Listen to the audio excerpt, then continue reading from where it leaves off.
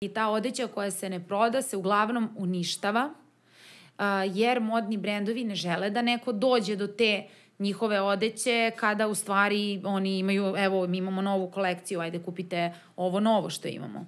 Bio je poznat taj slučaj brenda Barberi pre nekoliko godina kada su otkrili da su oni svoju staru kolekciju, to je sve što je preostalo, u vrednosti od ne znam koliko miliona evra u stvari uništili ovaj, pa su se svi o, o, začudili, međutim stvar je u tome da, da to skoro svi brendovi rade. Mnogi brendovi to rade. To meni konkretno nije bilo ništa, ništa. novo. Ljudi se samo nikada nisu zamislili i zapitali šta se dešava sa onim što se ne proda. Ovaj,